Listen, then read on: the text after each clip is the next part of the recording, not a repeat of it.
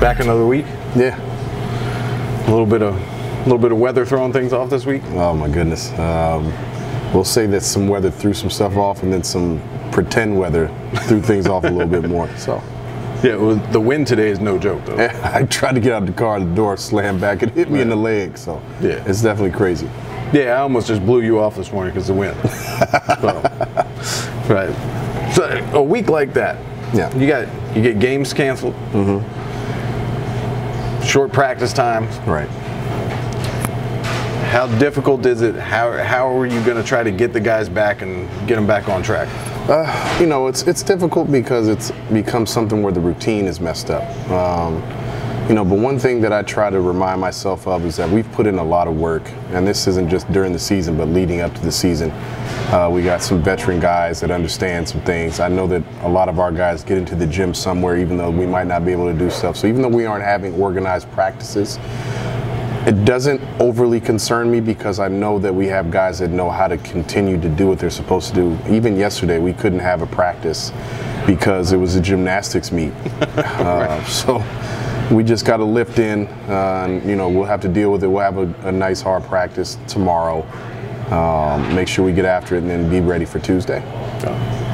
Well, so you had, I mean, obviously you're supposed to play Osborne Park on Friday. Mm-hmm. Um, people in Fairfax were able to play. Right.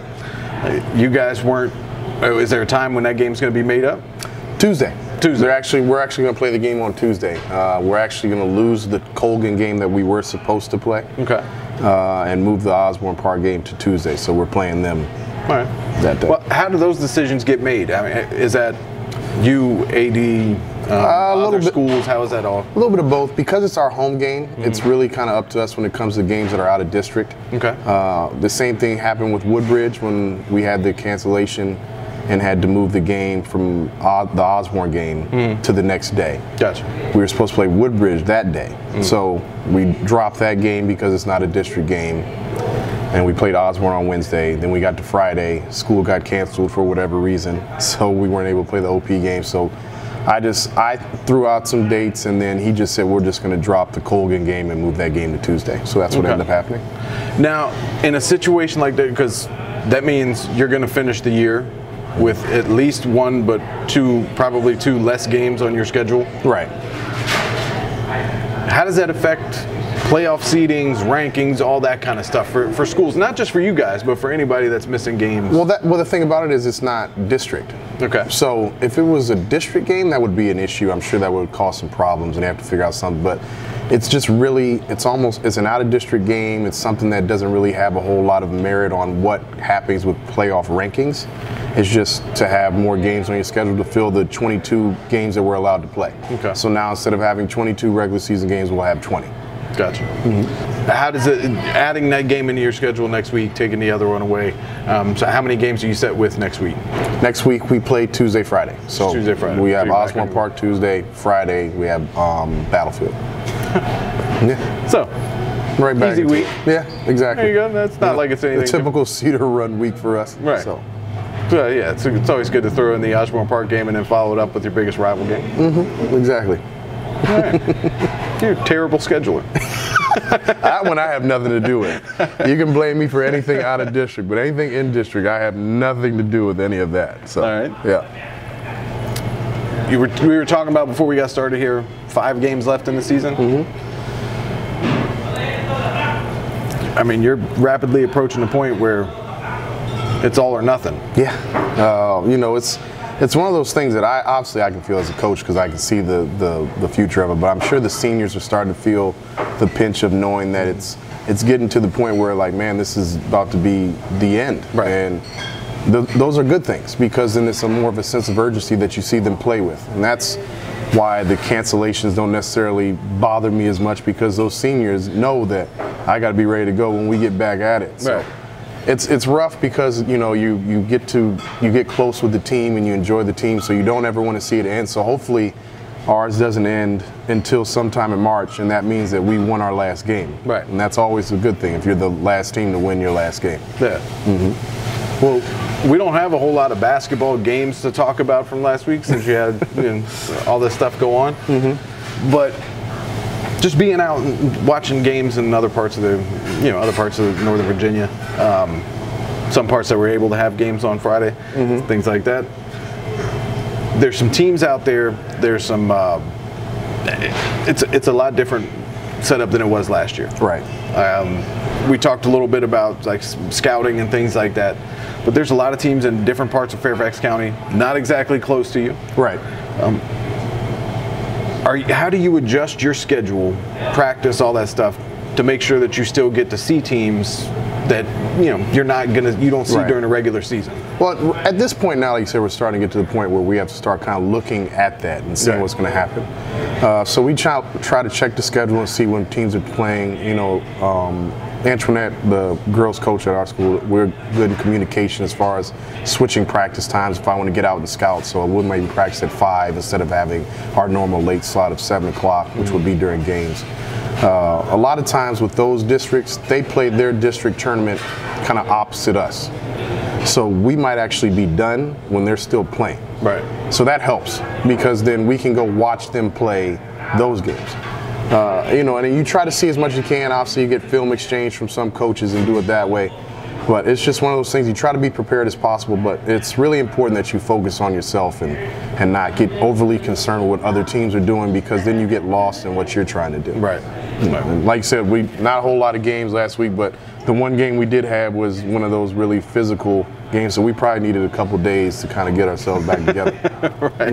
You know, the days off was a kind of a little bit double edged right there. You got you got to get them some rest while you didn't get a chance to play, didn't get a chance to practice. You got them a chance to rest a little bit. Well, it helps because we had guys with a couple little nicks and, and little small injuries like ankle stuff, and Right. so the extra time makes it so they can actually rest and not feel like they're missing something, and me not feel like they're missing something by not being a part of practice the way I want. I know that we had Jakai with the ankle stuff uh, a couple weeks ago, so that gives him a little bit of time to nurse that back to health. We had Lance Gaskins injure his ankle in practice, so he actually sat out the Osborne game.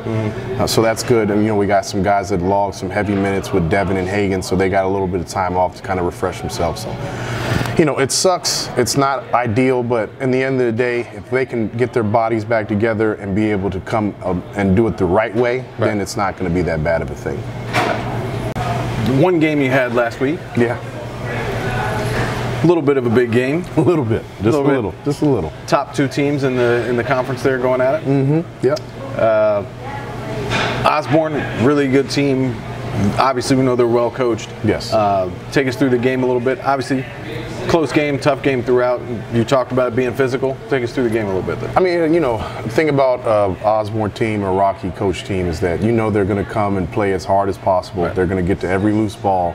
They're not going to do things to kind of hurt themselves. Uh, they're going to make you play at a pace that you don't want to play at. Uh, you know, for those of people that have seen UVA play, it's kind of similar in that regard as how they play defensively with the pack line defense. They want to try to close down the paint and make you make jump shots. Uh, you know, in the first half, they dictated all tempo.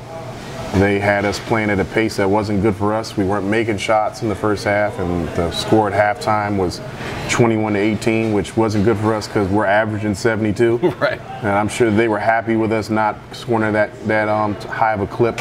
Uh, you know, we made some adjustments at halftime. Some things to kind of speed up the tempo a little bit. The best thing that we did was we started to make some shots, which actually helped us get into some of the press stuff that we wanted to do, uh, and made them a little bit uncomfortable with some of the stuff we were doing defensively. And then, you know, Devin Parrish was outstanding. Shocking. Yeah. Shocking. Are you getting more? Are you getting more attention from college coaches asking about him the, the, from the year that he's having now and putting it together? I would say it's it, I, to say that it's not more would be a lie. There is more. It's still not what I think it should be. Uh, and and like we always talk about before, I know that we're biased to our own players, but you know, just to talk about the last the last let's say the last two weeks. Um, a couple weeks ago, he has 26 points and 10 rebounds. And that's, that's a great game. Right. You know, I think he shot the ball 15 times. Against Osborne, he has 25 points on nine shot attempts. Uh, I have never right. seen that. Right. You know, and never seen somebody shoot the ball nine times and get 25 points. Seven for nine, four for five from three, seven for seven from the line. He rebounds the ball at a high rate, still have five or six rebounds. Um, finds guys on, on around the floor. He's leading us in assists. And it's one of those things that now he's got he's gotten to that weird little vortex of, well, some schools feel like they don't have a chance. So they called me and they said, well, we haven't really reached out because we feel like he might be too good for us. I said, you never know, guys. Right. You know, it's just one of those things that, do I feel like he should play at a certain level? I do. Yeah. But even if he's not, if you're not that level, he might feel more comfortable with you all than he does with them. It mm-hmm. might fit him better as far as like him being able to play and all that. So just to not recruit somebody because you think that it's a waste of Right. time, where it's like all you're doing is calling them. It's not like you're making trips. Right. So I get that a lot of people don't have the budgets to kind of waste that sort of thing, but that's that's like when you're tra- talking about paying for gas and food and all that. You can call and text somebody anytime you want to. Yeah. You can email them whenever you want to. So now he's kind of caught in that where he's playing very well. So some of the schools that were talking to him initially are mhm. starting to think that he might be playing above us. Right. And then the ones that I feel like that should be coming at him that are above those levels aren't coming at him the way that I feel like he should. Right. And it's just, I'm gonna keep pushing him. Same thing goes with Hagen Van Diver. Uh, I mean, Hagen had 16 points, five rebounds, four assists, and that's basically been his numbers Yeah. all season. Yeah. And these guys are having the type of season they have, and the attention that you would feel like that a team that has been successful winning wise, on top of having individual success, you would expect their phones to be blowing up. Yeah. And they aren't.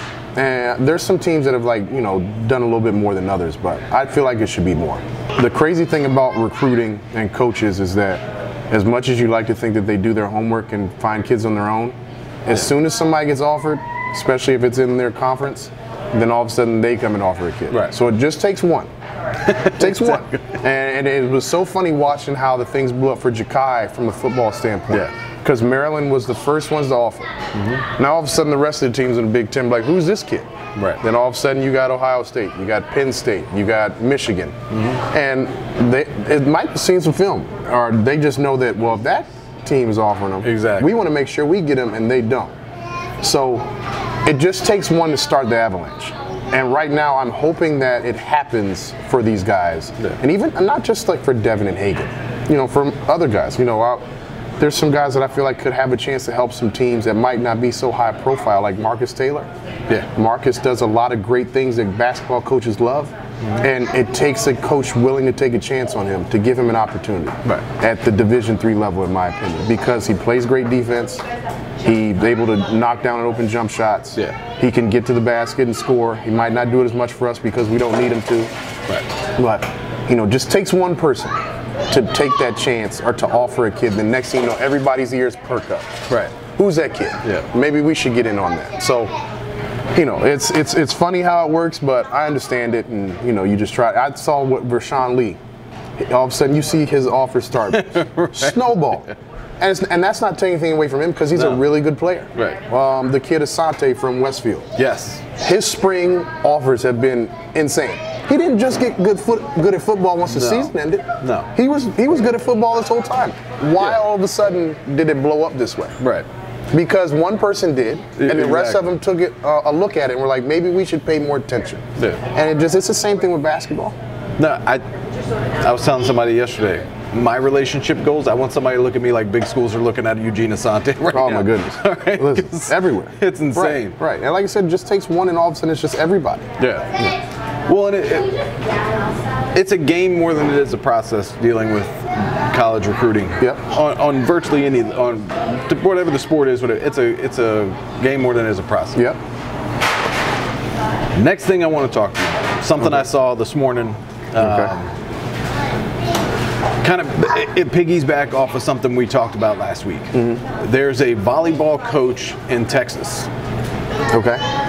She's one of the top volleyball coaches in Texas. She is resigning because she was um, told by her athletic department or administration that she needed to play people a certain amount of time. In high school. Yeah.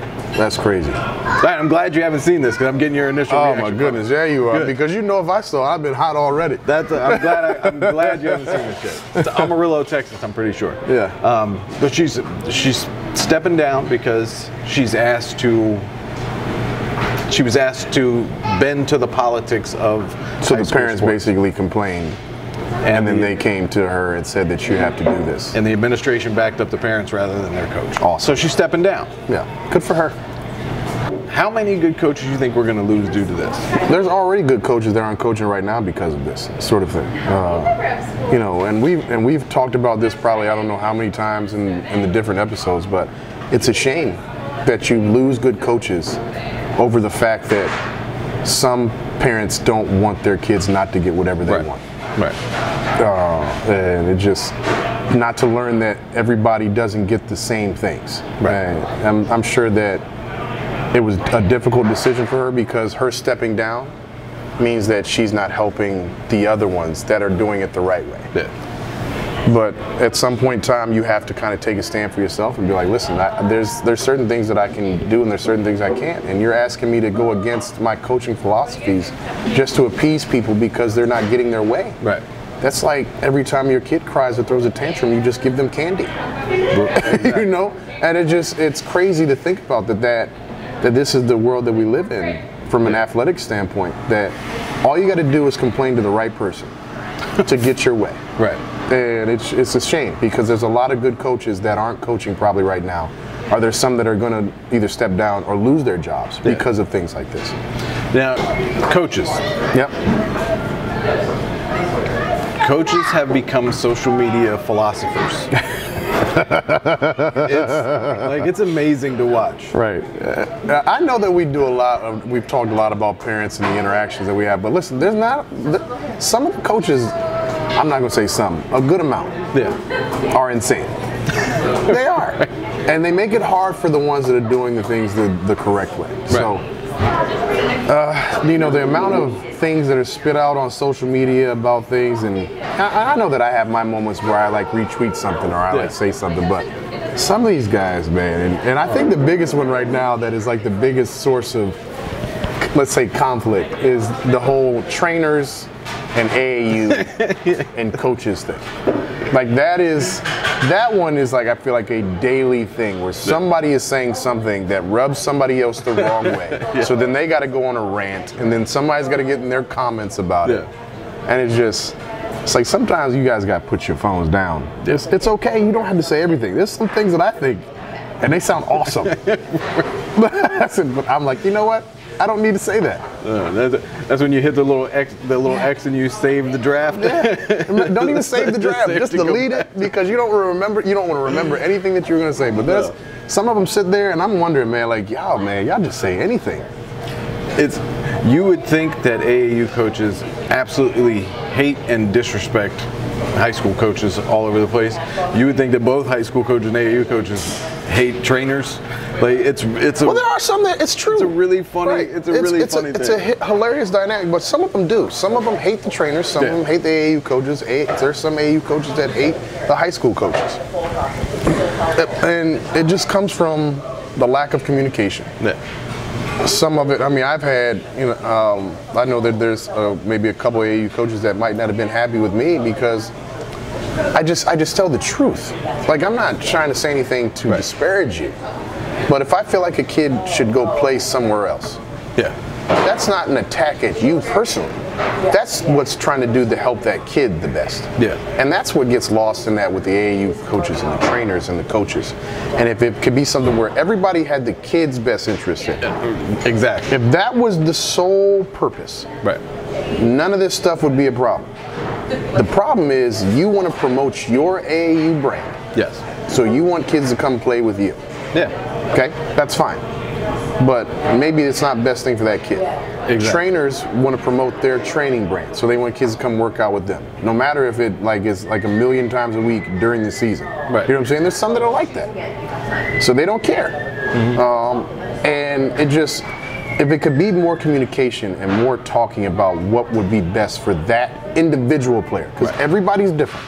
And the problem is we group everybody into this thing and they're like, well, this is what we should do. Well, that might not be the case. Like I said, I do my best in the off season of trying to schedule my workouts around when I think AAU practices are. Right. I really do.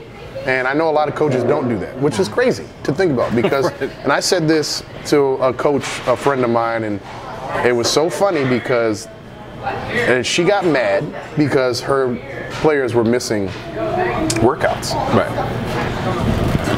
And I said, listen, if you give kids a chance to make a choice, they're going to make the wrong one. Yes. I said, so you're making them choose between an AAU coach and your workout. They're going to choose the AAU practice because the AU coach is telling them that they have to be ready to play in these tournaments because they need to get recruited, which is the main goal of everyone. This is why parents get the way they are. This is why AAU coaches get the way that they are. That's what happens. That's why. So I try to do my best to schedule our workouts around the opposite days of AAU practice. Now, everybody's not the same, but most of them practice Tuesday, Thursday. Like I said, they get back Monday, um, late Sunday night. They don't practice on Monday. They want to practice Thursday before they leave on Friday. Mm-hmm. So I try to work, have our workouts Monday, Wednesday. If your coach decides that he wants to be a Monday, Wednesday person, now that's where the conflict comes. Right. But that's where the communication comes from with myself, the player at first, and then possibly the AAU coach, depending Yeah. on who it is. And I tell kids, I said, listen, if you decide that you want to go to AAU practice, I'm not going to like it. Right. I said, you know, and but if you don't want to make us a priority in the off season because it's important that you're here and you do that stuff, Yeah. then you can't necessarily be like, well, coach, make me a priority during the season. Now, I'm not going to outright punish you because you missed some stuff, but it is going to ha- it's going to be in my mind. Right. Just like that AAU coach is going to be upset about you missing his practice. Yeah. But I guarantee you, he's still going to play in that tournament. Right. you know what I'm saying? So that's the thing that kills me about it. It's like you add kids on your teams all the time AAU. Don't tell me that your AAU practices are so important Right.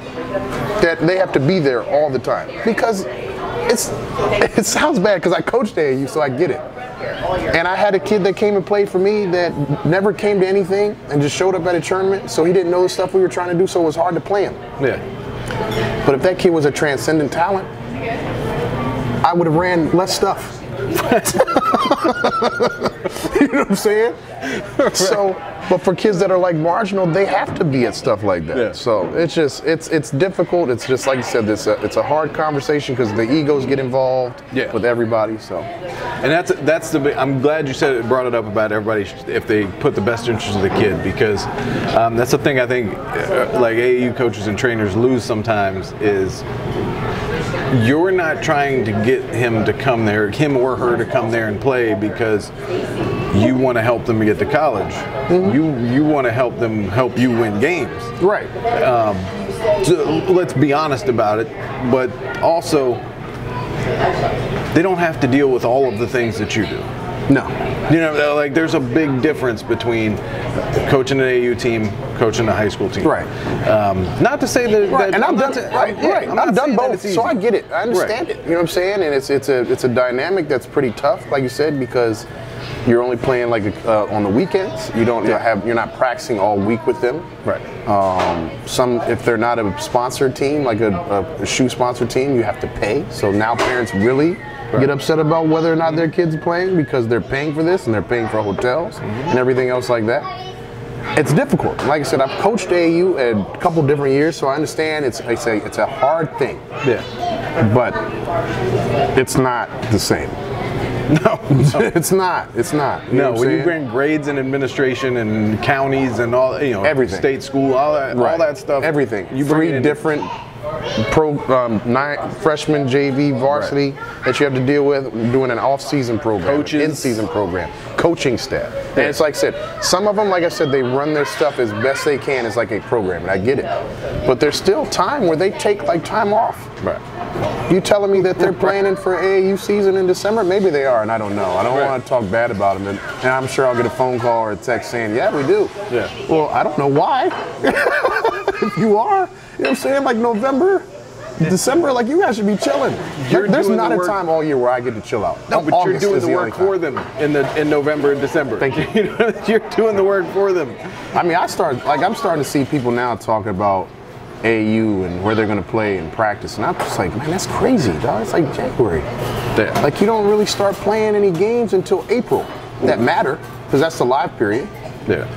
And it's just to think that it's already something like I understand them having to know what tournaments they're going to go to, Yeah. but I don't know. That, like I said, it's just one of those things. Maybe I just need to have more conversation with those guys so I can have a better understanding. Maybe. No, just another thing to add on your plate. Yeah, yeah, oh. it's okay. Yeah. Goes with the territory. There you go. well, OP in Battlefield this week. Yes, yes. Good luck. Yes, I appreciate it. I'll Be see, ready? You know, OP, you know, got some some wins under their belt and are playing a little bit better. So I'm sure they're going to come in with a point to prove that we're here Yeah. now, and hopefully we can go ahead and shut that down very quickly. And then obviously Battlefield, a rivalry game on a Friday night. It's going to be insane. Yeah. Yeah. No, there's nothing else to say about that. No. no. Yeah. I was in OP's gym yesterday. Yeah. Shout out to the OP girls basketball team. Yeah, Chrissy, man, you know she does her thing. So, She's great. yeah, she is. She's great. I think I told her yesterday. I said, you know, we were shooting some with the girls basketball team, but I said I got to come back and talk to you and get you, and because if I don't capture your passion for the game, Oh, yeah. I am not doing my job. She's one of the best coaches in Northern Virginia. Has a, you know, obviously a history of being very good. Um, she- what she did at Forest Park and the type of player she had there. So I know she started to do that at OP. Um, being in our district, I can't necessarily root for her, but Right. From afar, I'm saying good job, and I, I, I appreciate her as a coach for sure. And nothing wrong with having good coaches in the county, no matter where they're coaching. No question, no question. Well, thank you all. We'll see you next week. All right. Let's eat. Yeah, we get some meat, man.